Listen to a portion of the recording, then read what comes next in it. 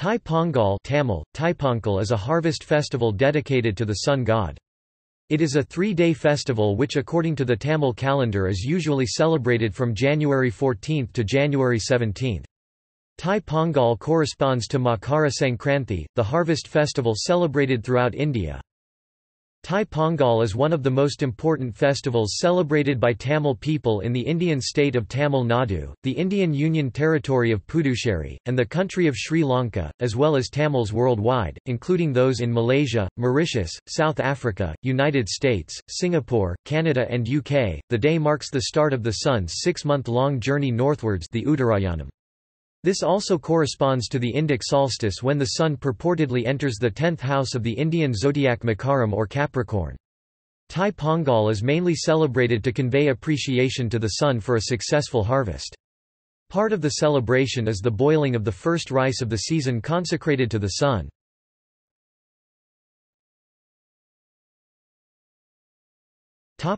History The origins of the Thai Pongal festival may date to more than 1,000 years ago. Epigraphic evidence suggests the celebration of the Puthiyidu during the medieval Chola Empire days. Puthiyidu is believed to represent the first harvest of the year. Tamil people refer to Pongal as Tamilar Tirunal, the festival of Tamils. Thai Pongal, also referred to as Makara Sankranti, is referred to in the classic work of Hindu astrology, the Surya Siddhanta.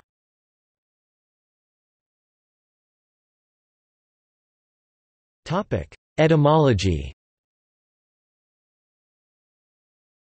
Thai refers to the name of the tenth month in the Tamil calendar, Thai. Pongal usually means festivity or celebration, more specifically Pongal is translated as boiling over or overflow.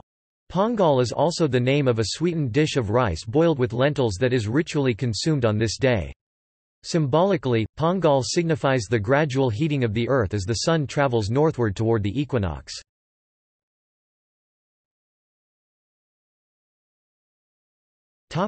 Pongal dish Besides rice and milk the ingredients of this sweet dish include cardamom, raisins, green gram split, and cashew nuts. Cooking is done in sunlight, usually in a porch or courtyard, as the dish is dedicated to the sun god, Surya. The cooking is done in a clay pot that is decorated with colored patterns called kolam. Pongal has two variants, one sweet and one savory. The dish is served on banana leaves. Cooking pongal is a traditional practice at temples during any part of the temple festival in Tamil Nadu.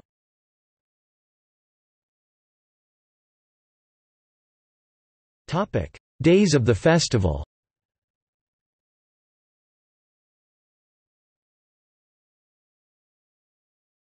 Thai Pongal The main event, also known as Thai Pongal, takes place on the second of the four days. This day coincides with Makara Sankranti, a winter harvest festival celebrated throughout India. The day marks the start of the Uttarayana, the day of the Indic solstice when the sun purportedly enters the tenth house of the Indian zodiac i.e. Makara or Capricorn. In the Tamil language the word Pongal means, overflowing, signifying abundance and prosperity. During the festival, milk is cooked in a vessel. When it starts to bubble and overflows out of the vessel, freshly harvested rice grains are added to the pot. At the same time other participants blow a conch called the songu and shout, Pongalo Pongal. They also recite, Thai Pirandhal Vazhi Pirakkum.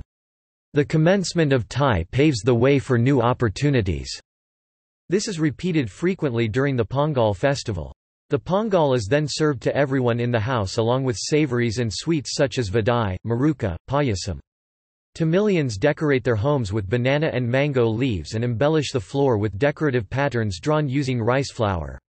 Kolams, rangolis are drawn on doorsteps. Family elders present gifts to the young.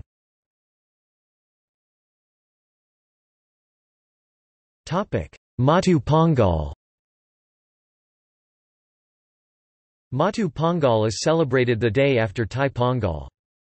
Tamils regard cattle as sources of wealth for providing dairy products, fertilizer, and labor for ploughing and transportation. On Maatu Pongal, cattle are recognized and afforded affectionately. Features of the day include games such as the Jallikattu and Taming Bull. Kanu Pidi is a tradition for women and young girls. During Kanu Pidi women feed birds and pray for their brothers' well-being.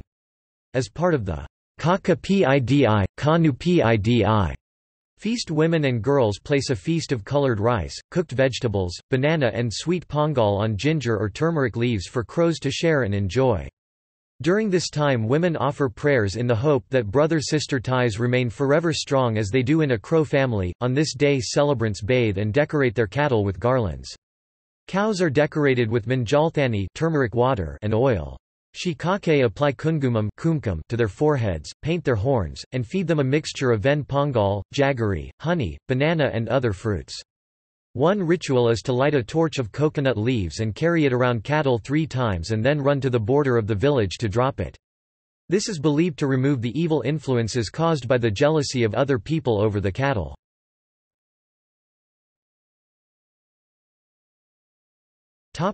Kaanum Pongal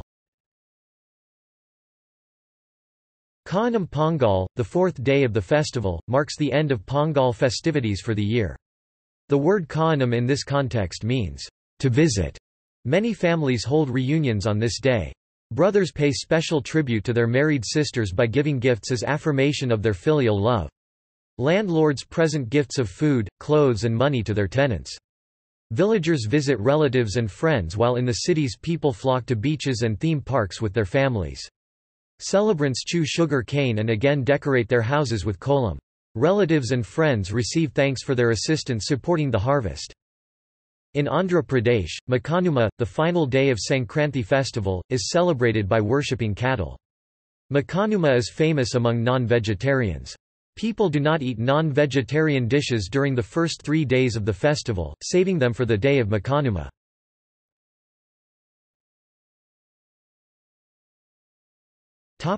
U.S. observance In 2017, Delegate David Bulova introduced a joint resolution H.J. 573 in the Virginia House of Delegates to designate January 14 of each year as Pongal Day.